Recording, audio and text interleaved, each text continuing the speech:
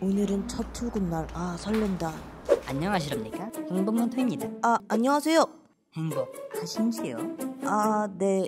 티맥스의 역사에 대해 아시는지요? 티맥스는 1997년도에 창립해서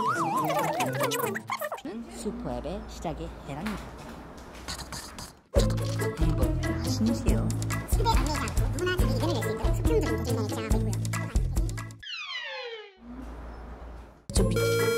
치질 않아. 나보고 맨날 행복하냐고 하는데 돌아버리겠어. 행복하신지요? 안녕하세요. 새로 오셨나봐요? 인기 많으시겠다. 새로 오셨나봐요? 어디 살아요?